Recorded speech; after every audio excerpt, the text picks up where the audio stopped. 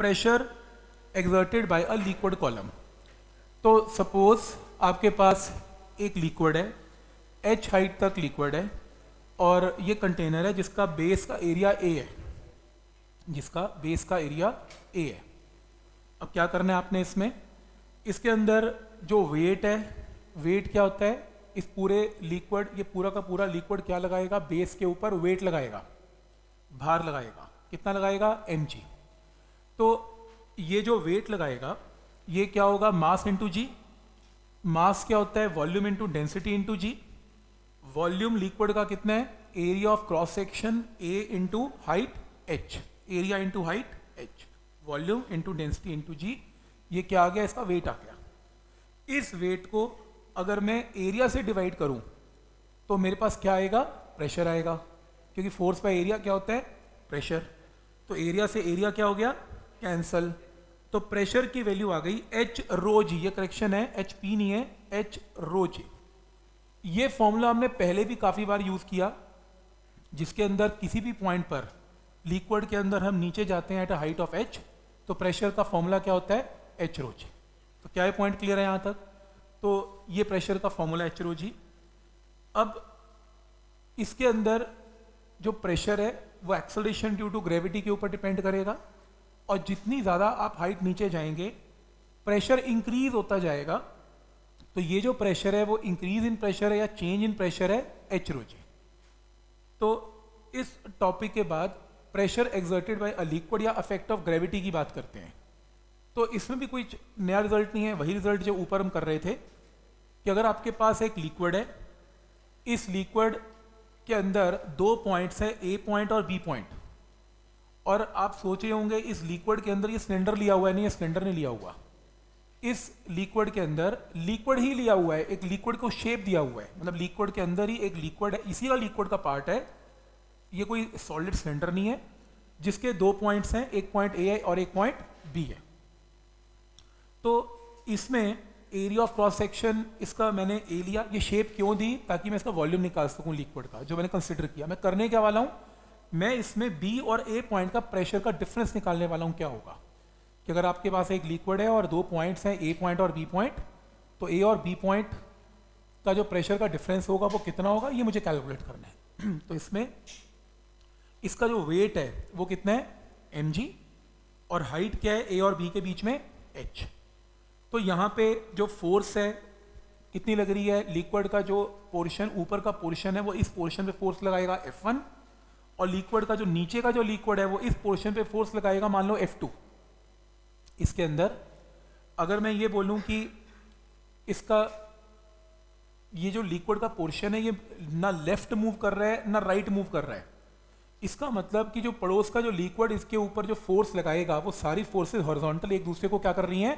Cancel तो horizontal forces liquid में हमेशा क्या करती जाती हैं? कैंसल और अगर वर्टिकल फोर्सेस देखें तो एक फोर्स लिक्विड नीचे लगा रहा है एक फोर्स लिक्विड ऊपर लगा रहा है और वेट कितना है इसका?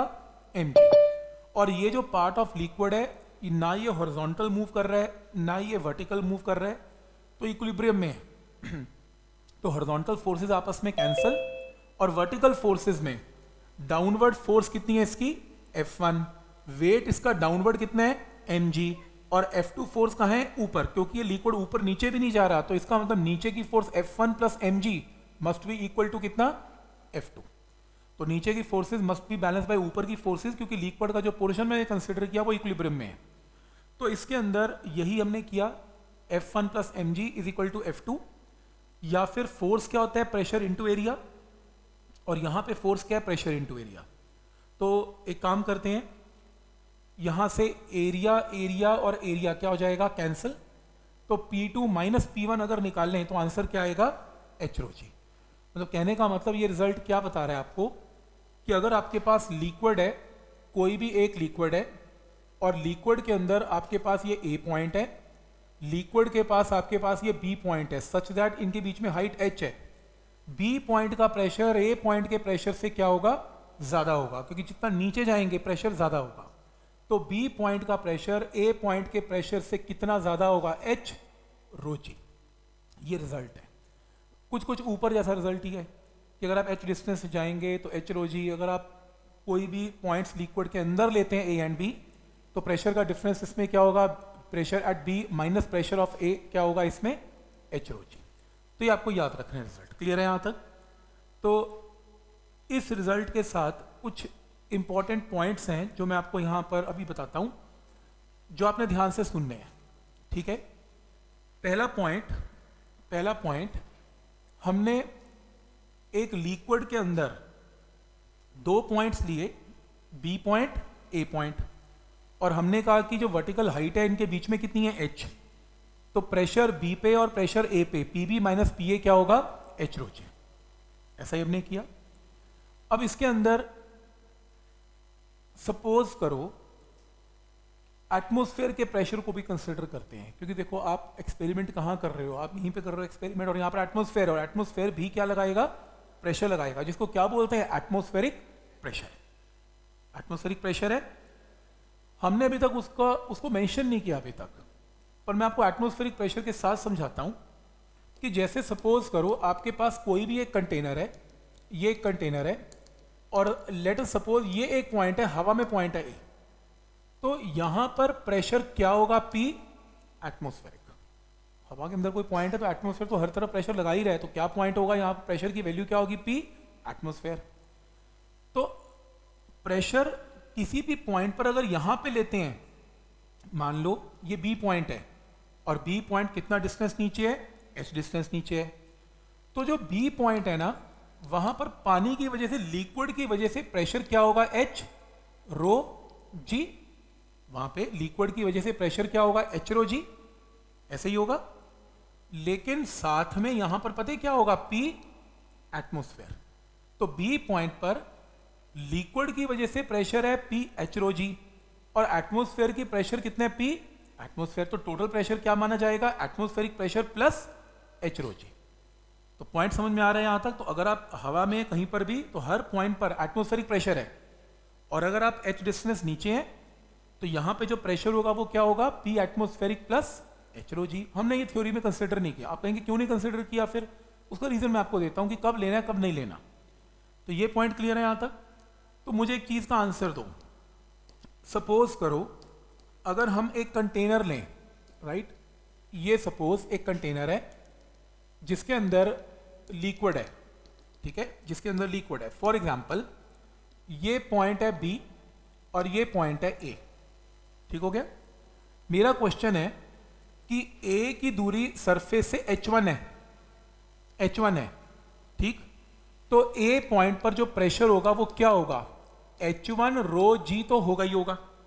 एच वन रो जी तो होगा ही होगा। साथ में क्या होगा? पी एटमोस्फेयर भी होगा। राइट और ऐसे अगर मैं ये बोलता हूँ कि ये बी पॉइंट है, जहाँ पर ये हाइट कितनी है? एच टू तो बी पॉइंट पर h two rho g pressure तो होगा ही होगा, साथ में पी एटमोस्फेयर भी होगा। तो क्या ये पॉइंट क्लियर है यहाँ तक? तो एक्चुअल में बी पॉइंट पर एटमोस्फेयर भी काम कर रहा है और बी पॉइंट पर लिक्विड का प्रेशर भी काम कर रहा है और ऐसी ए पॉइंट पर एटमोस्फेयर भी कर रहा है और लिक्विड भी कर रहा है। तो ए और बी का प्रेशर आ गया। अब मान लेते हैं कि जो डिस्टेंस है ए का और बी का कितने? एच तो अगर मैं ये कहूँ कि P B minus P A निकालो तो जब आप इन्हें माइनस करेंगे पी बी और पी ए को तो एटमोस्फेरिक प्रेशर आपस में क्या हो जाएगा? कैंसल और क्या बचेगा? H two minus h one into rho into g और h two minus h one क्या है? H into rho into g तो प्रेशर का डिफरेंस अभी हमने कैलकुलेट किया था। बी और ए पॉइंट के बीच में सीधा मैंने हाइट एच लिया और प्रेशर का डिफरेंस मैंने क्या लिया? एच रो जी तो अब ये पॉइंट समझ में आ रहा है कि एटमोस्फेरिक प्रेशर क्यों नहीं लिया था? क्योंकि हम निकाल रहे थे प्रेशर का डिफरेंस और जब हम प्रेशर का डिफरेंस निकालते हैं तो एटमोस्फेरिक एटमोस्फेरिक प्रेशर आपस में क्या हो जाते हैं? कैंसल इसलिए हमने कंसिडर नहीं किया। और एचरोजी जो फॉर्मूला है, वो प्रेशर का डिफरेंस का फॉर्मूला है। तो कभी भी जब किताब पढ़ेंगे कि आप एच डिस्टेंस नीचे आ गए तो आप हमेशा ये पढ़ेंगे there is an increase in pressure और इंक्रीज इन प्रेशर कितने? एच रोजी वो ये कभी ये नहीं कहेगा कि पॉइंट का प्रेशर है। क्योंकि पॉइंट का प्रेशर क्या होगा? H one rho g plus P atmospheric ऐसे यहाँ पे प्रेशर क्या होगा?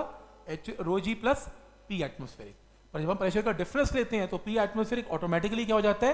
कैंसर तो ये कॉन्सेप्ट समझ में आ रहा है यहाँ तक? ठीक?